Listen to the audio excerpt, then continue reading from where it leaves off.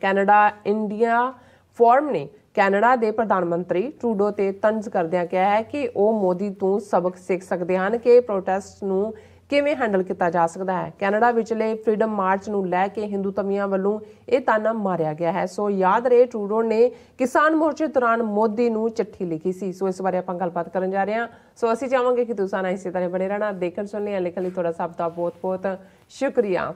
ਜੀ ਡਾਕਟਰ ਸਾਹਿਬ, ਕੀ ਵਿਚਾਰਾਂ ਨੇ? ਦੇਖੋ ਜਿਹੜਾ ਮਕਾਰ ਔਰ ਕਮੀਨਾ ਇਨਸਾਨ ਹੁੰਦਾ ਹੈ ਉਹ ਤਾਨੇਬਾਜ਼ੀ ਜਾਂ ਤਨਜ਼ ਦੇ ਵਿੱਚ ਯਕੀਨ ਰੱਖਦਾ ਹੈ ਜਾਂ ਕਿਸੇ ਦੇ ਕਮਜ਼ੋਰ ਪਲ ਵੇਲੇ ਬਜਾਏ ਉਸ ਦੀ ਮਦਦ ਕਰਨ ਦੇ ਨਾਲ ਖਲੋਣ ਦੇ ਉਹਨੂੰ ਡੀਰੇਲ ਕਰਦਾ ਜੀ ਸੋ ਜ਼ਾਹਰ ਹੈ ਕਿ ਜਦੋਂ ਅਸੀਂ ਇਹ ਕਹਿੰਦੇ ਹਾਂ ਵੀ ਇਹ ਹਿੰਦੂ ਤਵੀਆਂ ਨੂੰ ਇਹ ਜਿਹੜੀ ਫਾਰਮਰਸ ਐਜੀਟੇਸ਼ਨ ਦੇ ਵੇੜੇ ਥੁੱਕਿਆ ਚਟਣਾ ਪਿਆ ਮੋਦੀ ਗੁਰੂ ਨਾਨਕ ਸਾਹਿਬ ਦੇ ਪ੍ਰਕਾਸ਼ ਪੁਰਬ ਮੌਕੇ 19 ਨਵੰਬਰ 2021 ਨੂੰ ਦੋ ਹੱਥ ਜੋੜ ਕੇ ਖਲੋ ਕੇ ਮਾਫੀ ਮੰਗਦਾ ਹੈ, ਤਿੰਨੋਂ ਖੇਤੀ ਕਾਨੂੰਨ ਵਾਪਸ ਲੈਂਦਾ ਹੈ।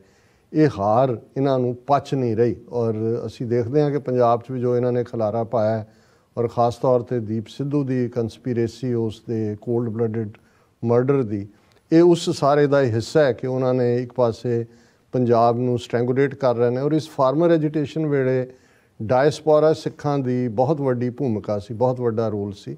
ਅੱਛਾ। ਇਕੱਲਾ ਇਹੀ ਨਹੀਂ ਕਿ ਉਹਨਾਂ ਨੇ ਉੱਥੇ ਫਾਈਨੈਂਸ਼ੀਅਲ ਔਰ ਹੋਰ ਹਰ ਤਰੀਕੇ ਦੀ ਮਦਦ ਕੀਤੀ। ਉਹਨਾਂ ਨੇ ਆਪਣਾ ਪੋਲੀਟੀਕਲ ਮਸਲ ਵੀ ਦਿਖਾਇਆ ਕੈਨੇਡਾ ਹੋਏ ਅਮਰੀਕਾ ਹੋਏ ਯੂਕੇ ਹੋਏ। ਔਰ ਅਸੀਂ ਕੈਨੇਡਾ ਦੇ ਹਵਾਲੇ ਨਾਲ ਗੱਲ ਕਰ ਰਹੇ ਹਾਂ ਕਿ ਜਸਟਿਨ ਟਰੂਡੋ ਨੇ ਵੀ ਐਨ ਉਸੇ ਹੀ ਇਸ ਸਾਲ ਪਹਿਲਾਂ ਗੁਰੂ ਨਾਨਕ ਸਾਹਿਬ ਦੇ ਪ੍ਰਕਾਸ਼ ਪੁਰਬ 2020 ਚ ਤੇ ਜਦੋਂ ਕਿ ਸ਼ੰਭੂ ਤੋਂ ਸਿੰਘੂ ਤੱਕ ਜਾਂਦੇ ਆ ਹਰਿਆਣੇ ਦੇ ਵਿੱਚ ਜਿਵੇਂ ਬੈਰੀਕੇਡ ਔਰ ਜੋ ਜ਼ੁਲਮ ਕੀਤੇ ਗਏ ਸੀ ਉਸ ਨੂੰ ਆਧਾਰ ਬਣਾ ਕੇ ਜਸਟਿਨ ਟਰੂਡੋ ਨੇ ਮੋਦੀ ਨੂੰ ਕਿਹਾ ਸੀ ਕਿ ਇਹ ਠੀਕ ਨਹੀਂ ਹੈ ਪੀਸਫੁਲ ਪ੍ਰੋਟੈਸਟਰਸ ਨੂੰ ਹੱਕ ਹੈ ਔਰ ਇਹਨੂੰ ਠੀਕ ਢੰਗ ਨਾਲ ਹੈਂਡਲ ਕਰੋ। ਜੀ। ਹੁਣ ਜ਼ਾਹਰ ਹੈ ਕਿ ਵੀ ਇਸ ਤੋਂ ਬਿਯੋਂਡ ਔਰ ਉਹ ਸਾਰਾ ਯੂਐਸਏ ਕਾਕਸ ਨੇ ਵੀ ਕਿਹਾ ਯੂਕੇ ਵਾਲਿਆਂ ਨੇ ਵੀ ਕਿਹਾ ਐਮਪੀਸ ਨੇ। ਹੁਣ ਕਿਉਂਕਿ ਕੈਨੇਡਾ ਦੇ ਵਿੱਚ ਜਿਹੜਾ ਇਸ ਵੇਲੇ ਇੱਕ ਸ਼ੁਰੂ ਤਾਂ ਇਹ ਇਸ ਤੋਂ ਹੋਇਆ ਕਿ ਜੀ ਪਾਬੰਦੀਆਂ ਲੱਗੀਆਂ ਨੇ ਜਿਨ੍ਹਾਂ ਨੇ ਟਰੱਕਰਸ ਨੇ ਖਾਸ ਤੌਰ ਤੇ ਅਮਰੀਕਾ ਚ ਆਣਾ ਇੱਥੋਂ ਵਾਪਸ ਜਾਣਾ ਹੈ ਵੈਕਸੀਨੇਟਡ ਹੋਣੇ ਚਾਹੀਦੇ ਨੇ।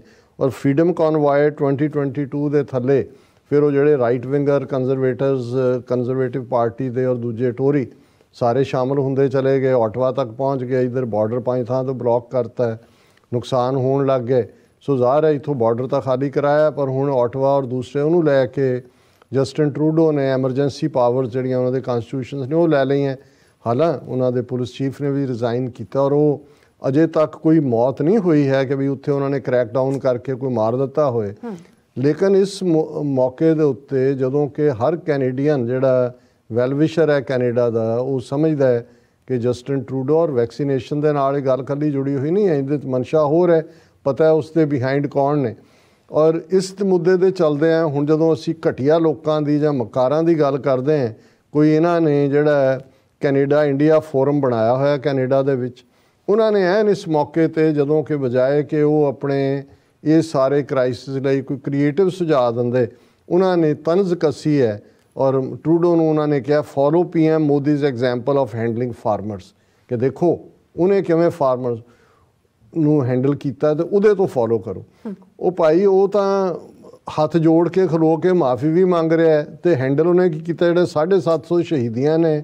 ਕਿਸਾਨਾਂ ਦੀਆਂ ਘੱਟੋ ਘੱਟ ਜਸਟਿਨ ਟਰੂਡੋ ਦੇ ਸਿਰ ਦੇ ਉੱਤੇ ਕਿਸੇ ਇੱਕ ਦਾ ਵੀ ਬਲੱਡ ਤਾਂ ਨਹੀਂ ਹੈ ਵੀ ਉਹ ਮਰਿਆ। ਤੁਹਾਡੇ ਤਾਂ ਤਾਂ ਮੋਦੀ ਦੇ ਸਿਰ ਤੇ 750 ਕਿਸਾਨਾਂ ਦਾ ਖੂਨ ਹੈ ਜਿਹੜਾ ਉਹਨੇ ਕੀਤਾ ਔਰ ਉਹਨੇ ਉਹ ਇਸ਼ੂ ਹੀ ਐਸਾ ਸੀ ਕਾਨੂੰਨ ਖੁਦ ਹੀ ਉਹਨਾਂ ਨੇ ਬਣਾਏ ਸੀ ਲੁੱਟਣ ਦੇ ਲਈ ਅੰਬਾਨੀ ਅਡਾਨੀ ਨੂੰ। ਵਾਪਸ ਲੈਣਾ ਉਹਨਾਂ ਦਾ ਨੂੰ ਪਿਆ ਕਿਉਂਕਿ ਸਿਕੌਨ ਖਲੋ ਰਹੀ ਸੀ ਔਰ ਉਹ ਕਹਿੰਦੇ ਨੇ ਜੀ ਕਾਨੂੰਨ ਤੋਂ ਅੱਛੇ ਥੇ ਰਾਸ਼ਟਰ ਕੇ ਹਿੱਤ ਮੇ ਹਮਨੇ ਰਾਸ਼ਟਰ ਦਾ ਹਿੱਤ ਕੀ ਸੀ? ਜ਼ਾਹਰ ਹੈ ਸਟਰਗਲ ਖਾਲਿਸਤਾਨ ਦੀ ਜਿਹੜੀ ਹੈ ਰੈਫਰੈਂਡਮ 2020 ਕੈਂਪੇਨ ਨੇ ਜ਼ੋਰ ਫੜਿਆ ਔਰ ਦੁਨੀਆ ਭਰ ਦੇ ਵਿੱਚ ਆਵਾਜ਼ ਖਾਲਿਸਤਾਨ ਦੀ ਉੱਠੀ। ਸੋ ਅਸੀਂ ਇਹੀ ਕਹਿਣਾ ਚਾਹੁੰਦੇ ਹਾਂ ਵੀ ਇਹ ਉੱਥੇ ਹੀ ਨਹੀਂ ਵੀ ਇਹ ਮਕਾਰ ਔਰ ਕਮੀਨੇ ਹਿੰਦੂ ਤਵੀ ਨੇ ਇਹਨਾਂ ਮੁਲਕਾਂ ਦੇ ਵਿੱਚ ਵੀ ਇਹਨਾਂ ਦਾ ਇਹੀ ਵਰਤਾਰ ਹੈ। ਔਰ ਅਸੀਂ ਕਲੋਜ਼ਿੰਗ ਦੇ ਵਿੱਚ ਜਿਵੇਂ ਰੋਜ਼ਾਨਾ ਗੁਰਬਾਣੀ ਵਿਚਾਰ ਡਿਸਕਸ ਕਰਦੇ ਹਾਂ। ਰੋਹਾਨੀਅਤ ਦਾ ਮੈਸੇਜ ਸ੍ਰੀ ਰਾਗ ਮਹੱਲਾ ਪਹਿਲਾ ਘਰ ਚੌਥਾ ਗੁਰੂ ਨਾਨਕ ਸਾਹਿਬ ਦੀ ਬਾਣੀ ਹੈ ਕੀਤਾ ਕਹਾ ਕਰੇ ਮਨ ਮਾਨ ਦੇਵਨ ਹਾਰੈ ਕੈ ਹੱਥ ਦਾਨ, ਭਾਵੇਂ ਦੇ ਨਾ ਦੇਈ ਸੋਏ, ਕੀਤੇ ਕਾ, ਕੀਤੇ ਕੈ ਕਹਿਆ ਕਿਆ ਹੋਏ, ਆਪੇ ਸੱਚ ਭਾਵੇ ਤਿਸ ਸੱਚ ਅੰਦਾ ਕੱਚ ਕੱਚ ਨਿਕਚ ਰਹਾਓ।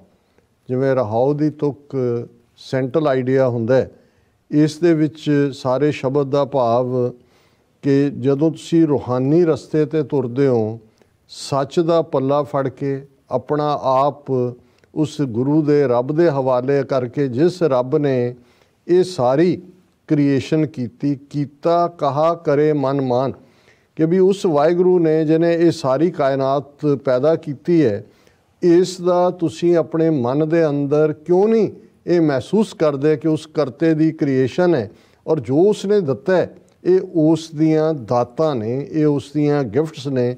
ਦੇਵਨ ਹਾਰੇ ਕਿ ਹੱਥ ਦਾਨ।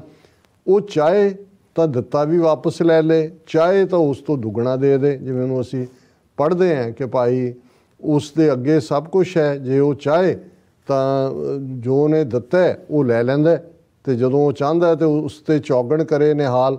ਨਾਨਕ ਸਾਹਿਬ ਸਦਾ ਦੇ ਭਾਵੇਂ ਦੇ ਨਾ ਦੇਈ ਸੋਏ। ਕੀਤਾ ਕਹਿ ਕਹੀਆ ਕਿਆ ਹੋਏ? ਤੇ ਉਸ ਦੇ ਕਰਨ ਦੇ ਨਾਲ ਹੀ ਸਭ ਕੁਝ ਹੁੰਦਾ ਹੈ। ਸਾਡੇ ਕਹਿਣ ਨਾਲ ਕੀ ਬਦਲ ਸਕਦਾ ਆਪੇ ਸੱਚ ਭਾਵੇਂ, ਤਿਸ ਸੱਚ। ਉਹ ਰੱਬ ਟਰੂਥ ਹੈ ਅਲਟੀਮੇਟ ਟਰੂਥ ਹੈ ਤੇ ਉਹਨੂੰ ਉਹੀ ਚੰਗੇ ਲੱਗਦੇ ਨੇ ਜਿਹੜੇ ਸੱਚ ਦੇ ਰਸਤੇ ਤੇ ਤੁਰਨ ਵਾਲੇ ਨੇ, ਜਿਹੜੇ ਸੱਚ ਨੂੰ ਪਰਨਾਏ ਹੋਏ ਨੇ। ਅੰਧਾ, ਕੱਚਾ, ਕੱਚ, ਨਿਕੱਚ ਕਿ ਜਿਹੜੇ ਰੂਹਾਨੀ ਤੌਰ ਤੇ ਅੰਨੇ ਨੇ। ਜਦੋਂ ਅੰਨਾ ਕਿਹਾ ਜਾਂਦਾ ਹੈ, ਇਹ ਫਿਜ਼ੀਕਲ ਬਲਾਈਂਡਨੈਸ ਨਹੀਂ ਹੈ। ਇਹ ਅੰਦਰੋਂ ਜਦੋਂ ਤੁਸੀਂ ਮਨ ਦੇ ਆਖੇ ਲੱਗਦੇ ਹੋ ਤਾਂ ਤੁਸੀਂ ਅੰਨੇ ਹੀ ਹੁੰਦੇ ਹੋ। ਔਰ ਉਸ ਅੰਨੇ ਪੰਛੀ ਤੁਸੀਂ ਫਿਰ ਗੁਨਾਹ ਕਰਦੇ ਹੋ।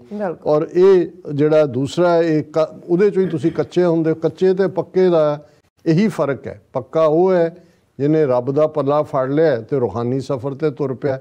ਕੱਚਾ ਉਹੀ ਹੈ ਜਿਹੜਾ ਮਨ ਦੇ ਮਗਰ ਲੱਗਾ ਔਰ ਮਨ ਆਈਆਂ ਕਰਦਾ ਔਰ ਉਹ ਇੱਕ ਘਟਿਆਪਨ ਔਰ ਉਸ ਸਾਰੀ ਉਸ ਦੀ ਜ਼ਿੰਦਗੀ ਜਿਹਨੂੰ ਕਰਤੂਤ ਪਸ਼ੂ ਕੀ ਮਾਨਸ ਜਾਤ। ਲੋਕ ਪਚਾਰਾ ਕਰੇ ਦਿਨ ਰਾਤ ਉਸ ਕੈਟਾਗਰੀ ਚ ਆਂਦਾ ਹੈ। ਜਾਂ ਕੇ ਰੁੱਖ ਬਿਰਖ ਆ ਰਾਓ।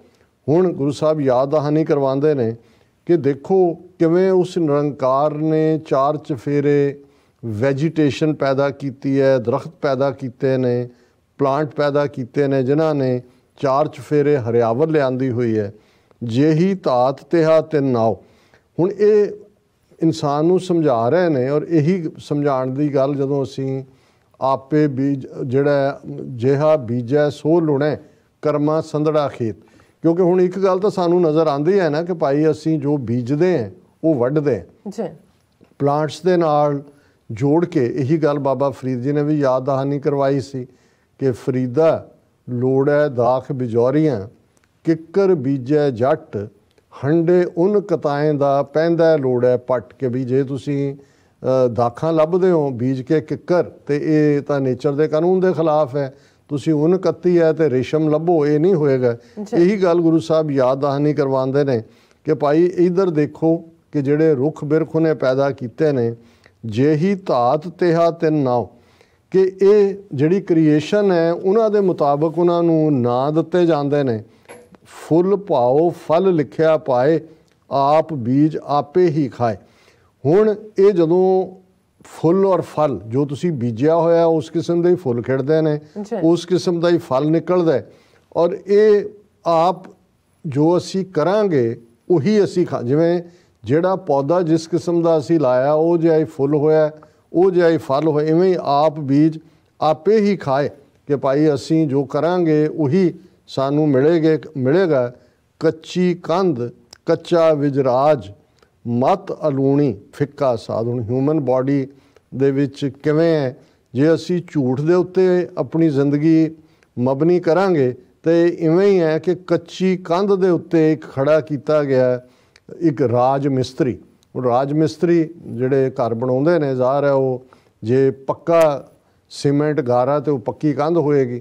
ਤੇ ਮਨ ਸਾਡਾ ਉਹ ਕਾਰੀਗਰ ਹੈ ਜੇ ਉਹਨੇ ਉਸ ਕੱਚੀ ਜ਼ਿੰਦਗੀ ਨੂੰ ਜਿਉਣਾ ਹੈ ਝੂਠ ਦੀ ਜ਼ਿੰਦਗੀ ਨੂੰ ਜੀਣਾ ਤੇ ਫਿਰ ਜਿਹੜੀ ਅੰਦਰ ਕੰਧ ਖੜੀ ਹੈ ਉਹ ਝੂਠ ਦੇ ਦੇ ਜੀਵਨ ਦੇ ਵਿੱਚ ਕੂੜਾ ਕਿਵ ਕਿਵ ਸਚਿਆਰਾ ਹੋਈ ਹੈ ਕਿਵ ਕੂੜਾ ਟੁੱਟਿਆ ਪਾਲ। ਕੂੜ ਦੀ ਕੰਧ। ਹੁਣ ਪਾਲ ਵੀ ਕੰਧ ਹੈ ਤੇ ਇੱਥੇ ਵੀ ਗੁਰੂ ਸਾਹਿਬ ਦੀ ਯਾਦ ਦਹਾਨੀ ਕੱਚੀ ਕੰਧ ਕੱਚਾ ਵਿੱਚ ਰਾਜ। ਜੇ ਅਸੀਂ ਰਾਜ ਮਿਸਤਰੀ ਮਨ ਸਾਡਾ ਬੇਈਮਾਨ ਹੈ ਤੇ ਅੰਦਰ ਸਾਡੇ ਕੱਚੀ ਕੰਧ ਉਸਰੇਗੀ, ਮਤ ਅਲੂਣੀ। ਹੁਣ ਕਦੇ ਫਿੱਕੀ ਚੀਜ਼ ਖਾਣੀ ਪਏ ਤਾਂ ਉਹਦਾ ਕੀ ਹੁੰਦਾ ਹੈ? ਕਿ ਭਾਈ ਜੇ ਕੱਚੀ ਕੰਧ ਕਢਾਵਾਂਗੇ, ਕੱਚੇ ਮਿਸਤਰੀ ਮਨ ਤੋਂ ਜਿਹੜਾ ਹਿੱਲਿਆ ਹੋਇਆ ਸੱਚ ਨਾਲੋਂ, ਤੇ ਫਿਰ ਸਾਡੀ ਮਤ ਇਹੋ ਜਿਹੀ ਹੋਏਗੀ ਕਿ ਭਾਈ ਜਿਵੇਂ ਤੁਸੀਂ ਕੋਈ ਅਲੂਣੀ ਚੀਜ਼ ਖਾਂਦੇ ਹੋ, ਫਿੱਕਾ ਸਾਦ ਜ਼ਿੰ- ਜਿਵੇਂ ਫਿੱਕਾ ਸਵਾਦ ਹੁੰਦਾ ਹੈ ਬਿਨਾਂ ਲੂਣ ਤੋਂ, ਇਹੋ ਜਿਹੀ ਅਕਲ ਦੇ ਮਾਲਕ ਉਹ ਲੋਕ ਹੋਣਗੇ ਜਾਂ ਹੁੰਦੇ ਨੇ ਜਿਹੜੇ ਕੱਚ ਦੇ ਉੱਤੇ ਝੂਠ ਦੇ ਉੱਤੇ ਜ਼ਿੰਦਗੀ ਜਿਉਂਦੇ ਨੇ। ਨਾਨਕ ਆਣੈ ਆਵੈ ਰਾਸ। ਗੁਰੂ ਨਾਨਕ ਸਾਹਿਬ ਵੀ ਯਾਦ ਦਹਾਨੀ ਕਰਵਾਉਂਦੇ ਨੇ ਕਿ ਭਾਈ ਜੇ ਨਿਰੰਕਾਰ ਨੂੰ ਕਬੂਲ ਹੋਏ ਤੇ ਉਹ ਹਰ ਚੀਜ਼ ਨੂੰ ਠੀਕ ਰਸਤੇ ਦੇ ਉੱਤੇ ਲੈ ਆਉਂਦੇ ਨੇ। ਵਿਣ ਨਾਵੇਂ ਨਾਹੀ ਸਾਬਾਸ। ਕਿ ਜੇ ਜ਼ਿੰਦਗੀ 'ਚ ਕਿਸੇ ਨੇ ਸ਼ਾਬਾਸ਼ ਲੈਣੀ ਹੈ ਸਫਲ ਜ਼ਿੰਦਗੀ ਜਿਉਣ ਦਾ ਜਿਹੜਾ ਉਹ ਰਸਤਾ ਚੁਣਨਾ ਹੈ, ਤੇ ਫਿਰ ਉਸ ਦੇ ਨਾਮ ਦੇ ਨਾਲ ਜੁੜਨਾ ਹੋਏਗਾ। ਰੱਬ ਦੀ ਇਬਾਦਤ ਦੇ ਨਾਲ ਵਿਣ ਨਾਵੇਂ। ਜੇ ਉਹਦਾ ਨਾਮ ਨਹੀਂ ਹੈ, ਨਾ ਹੀ ਸ਼ਾਬਾਸ਼। ਫਿਰ ਕਿਸੇ ਗੱਲ ਦੀ ਵੀ ਜਿਹੜੀ ਹੈ, ਉਹ ਸ਼ਾਬਾਸ਼ ਨਹੀਂ ਮਿਲਦੀ ਜਾਂ ਝੂਠ ਦੇ ਉੱਤੇ ਖਲੋ ਕੇ ਤੁਸੀਂ ਰੱਬ ਦੀ ਦਰਗਾਹ ਦੇ ਵਿੱਚ ਕਬੂਲ ਨਹੀਂ ਹੁੰਦੇ। ਜੀ, ਡਾਕਟਰ ਸਾਹਿਬ, ਤੁਹਾਡਾ ਬਹੁਤ ਬਹੁਤ ਸ਼ੁਕਰੀਆ। ਤੁਸੀਂ ਅੱਜ ਦੇ ਐਮ ਸ਼ੋ ਤੇ ਅੱਜ ਦਾ ਵਿਚਾਰ ਸਾਡੇ ਦਰਸ਼ਕਾਂ ਨਾਲ ਸਾਂਝਾ ਕੀਤਾ ਸੋ ਇਸ ਨਾਲ ਆਪਣੇ ਵਿਊਅਰਸ ਕੋਲ ਨੇ ਇਜਾਜ਼ਤ ਵਿਊਅਰਸ ਸਾਡੇ ਪ੍ਰੋਗਰਾਮ ਦਾ ਸਮਾਂ ਇੱਥੇ ਸਮਾਪਤ ਹੁੰਦਾ ਤੁਸੀਂ ਆਪਣੀ ਰਾਏ ਤੇ ਸੁਝਾਅ ਸਾਨੂੰ ਭੇਜਣਾ ਭੁੱਲਣਾ ਸਾਡੇ ਇਸ ਪਤੇ ਤੇ sos@tv84.tv ਤੇ ਅਸੀਂ ਆਪਣਾ ਪ੍ਰੋਗਰਾਮ ਲੈ ਕੇ ਫਿਰ ਦੁਬਾਰਾ ਤੁਹਾਡੇ ਰੂਬਰੂ ਹੋਵਾਂਗੇ। ਤਦ ਤੱਕ ਲਈ ਮੈਨੂੰ ਤੇ ਆਪਣਾ ਸੁਣਾ ਕੇ ਦੋ ਦੀ ਰੋਚੀ ਵੀਰੀ ਫੋ ਬੁਲਾ ਦਿਓ ਫਤਿਹ। ਵਾਹਿਗੁਰੂ ਜੀ ਕਾ ਖਾਲਸਾ, ਵਾਹਿਗੁਰੂ ਜੀ ਕੀ ਫਤਿਹ। ਰੱਬ ਰਾਖਾ।